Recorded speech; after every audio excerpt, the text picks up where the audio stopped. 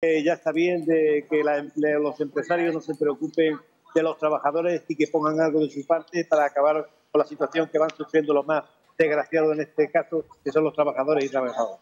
Las mismas que las de comisiones obreras, salarios dignos, y algo a lo que, a lo que la patronal no, no, no accede. Y en particular en Ceuta, pues recordarles, recordarles que hay convenios que no se negocian desde el año 2014 y se están ofreciendo un 1,5%. Hablo de comercio, hablo de hostelería, sobre todo.